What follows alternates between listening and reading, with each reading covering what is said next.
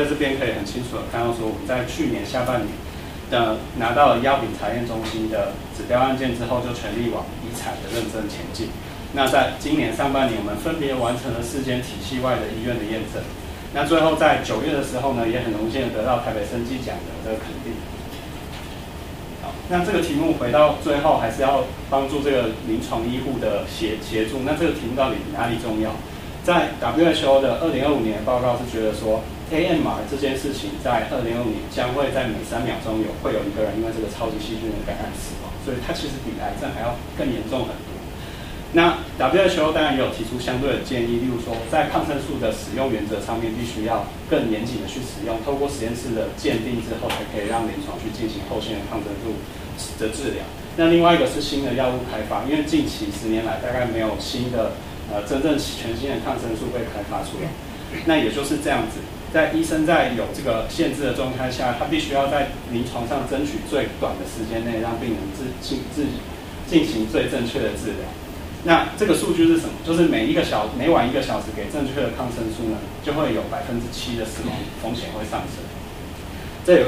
从这边可以理解说，那我们要怎么去改善这件事情？那回到临床的检验流程，我们可以看到说，上面第一排是呃现行的这个临床检验的方式，它需要等到四十八小时甚至七十二小时才可以鉴定出这一支细菌它应该要用什么样的抗生素来治疗，是对这个病人最有效的。那我们想要做的事情很，呃，相对来说听起来很简单，就是我们在阳性血之后呢，马上透过特殊的呃分析检验法，那萃取出细菌的呃 sample 之后，我们上到了 MALDI-TOF 去拿到这个讯号，在一个小时内，阳性血后一个小时内，我们就可以让医生知道说这只细菌它需不需要去使用后线的抗生素。那什么是质谱仪？质谱仪为什么可以协助我们做这件事？在技术上面呢？这边大家可以看到或者想象一个情境，说当我们去机场要登机的时候，首先一定是确认你的身份，你是本人，接着会通过安全检查，确认你身上没有危险物品之后，才可以上飞机。那同样的概念在质谱仪，其实在协助说这只细菌到底是谁，那对应的抗生素组合，我们才可以去做后面的验证。那进一步我们来想说，那质谱仪现在可以看到说，它可以在细菌分类上非常明确可以看出不同的细菌的呃质谱图谱。那有没有可能我们透过机器学习跟临床累积的大量的数据，来去让这个后面的这个药物检验呢，去缩短它的时间？那答案当然是可行的。我们针对呃 CDC 它所监测的八支细菌，那缩写叫 Escape，这八支对全世界影响都非常严重的细菌，我们去做分别。拿中国的资料来做的训练，那这边委员们可以看到说，呃，细菌的全名在这，那对应的细菌，我们手上所累积的资料库以及它训练的准确率都分别呈现在呃委员的右图。那在这个部分的话，我们最低的标准大概都接近 AUC 零点九。那针对这八支，我们也都已经导入中国医药大学附设医院的这个平台上。那这个是实际上临床医生会看到的画面。那其实这是里面的话有三个呃 AI 的数据在协助这个预测临床诊断。那我们的这个细菌智能检验快速检验的话是坐落在其中这边，也就是说当系统检验部侦测到这八只细菌的时候，它就会直接呈现在这个抗药细菌风险值在这个平台上。那后面当然是呃一连串的这个资讯运算，那我们这边就跳过，因为当医生看到的时候，他需要他只需要知道他知道的讯息，后面计算流程其实他完全不会有感觉。这就是我们希望做到的 AI，就是让医生没有负担来去使用 AI 运算出来的结果。那另外更重要的事情是，我们其实不是只在我们自己的医院做验证。如果只是在医院做测试的话，其实这个医院只能这个模型只能在一间医院验证。我们分别结合了北中南东各一间具有代表性的医院去做去进行验证。那在属立丰原医院，我们的 AUC 是接近八成。那台大呃，实际跟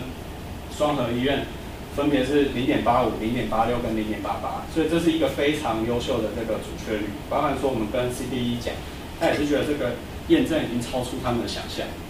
那另外更进一步，我们不是只单纯做 AI，我们希望呢可以协助后面的抗生素新药的开发。所以我们在这 AI 的后面呢，也呃发展了一套视觉化的工具，让医生们或者是研究者们可以更好的去理解说，为什么 AI 在针对这个讯号的时候去做这个抗药跟不是抗药的判断，那这边可以很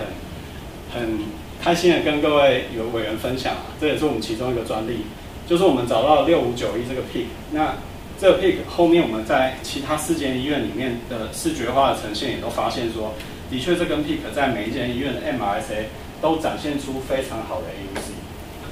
但是这远远不足够说我们来做药物的开发。那接着我们就是跟呃药呃中中医大的蛋白质核心实验室去把这个 peptide 鉴定出来。那鉴定出来之后，我们发现这个只有两个。蛋白质的 mutation 其实就造成了这个蛋白的 cavity 上面的改变。那我们后面也做了这个呃 virtual screening，发现说的确这两个呃蛋白质这个突变之后，下面这个是 MRSA，上面是 MSSA，的确是会让它在 m e s c i n 在做打拼的时候，MRSA 是进不去这个 cavity 的，也就是造成它的抗药性的表现。那我们其实，在为什么做这么多这个可视化或可解释性，就是 AI 其实很被 criticize，就是它是一个 black 那个 black box，它没有办法解释。但是我们发展的工具，包含这也申请了专利，可以很清楚的告诉医院、医生、研究者，为什么这个 AI 做出了这样子的判断，这是一个非常大的前进。那最后呢，我们讲一下这个专利的布局。我们专利总共呃总共申请了三个，包含两个台湾、一个美国专利。那分别针对我们的抗抗药细菌系统预测跟快速前处理法，我们也去针对这个专利的风险去进行了分风险分析。那其实我们所查询到的都是低风险或甚至没有专利保护的状态下，所以我们是可以自由实施的。另外，抗药细菌资料库跟资料前处理单元和模型训练，这个也是全部都是低风险以及可以自由实施。也就是说，我们现在目前的这个专利下去，在专利布局上是非常稳健的。那最后一个是要聊到市场，就我们做了这么多事情，投入了这么多的资源来进行，我们当然会希望说这个东西，但第一个是有经济价值，第二个是能够协助医疗上面去做改善。那我们针对呃这个快速检测细菌的去做了分析，发现说未来在二零二七年它的市场可以达到五十一亿美金。那尤其是在那个亚太地区，它的成长速度是最快，也就是我们台湾现在所在的这个区域。那现在市场的三个 major players 是谁？第一个是 BD，第二个是 Bruker，第三个是 Biomaris。那我们医院的系统是用 Bruker，所以我们就跟 Bruker 很好的去配合，也做了好几次沟通。所以我们现在是以 Bruker 为主，用它的机器当成我们的载体，来去推广我们的这个软体服务。那另外一个是因为我自己啊前年从 Microsoft Research 从美国回来，那我希望说透过微软这个通路协助我们打到呃北美的。临床诊所或医学中心里面，那在这个部分，我们大概对台湾做了一些小小的研究，包含说台湾包含二十六间的医学中心，七十七间的地区级医院，那总共希望五年内可以达到百分之呃三十的渗透率。那最后我们是呃做一下 summarize。那第一个是这个一个小时，每一个小时其实都是对病人来说都是提升存活率百分之七点六。那这个市场很大，有五十一亿美金的市场。那最后呢，我们现在的状态是。可以高度整合临床的流程，而且在一个小时内可以让医生去进行正确的治疗。那最后，我们的 Go to Global 的策略就是跟 Broker、跟 Microsoft 结合。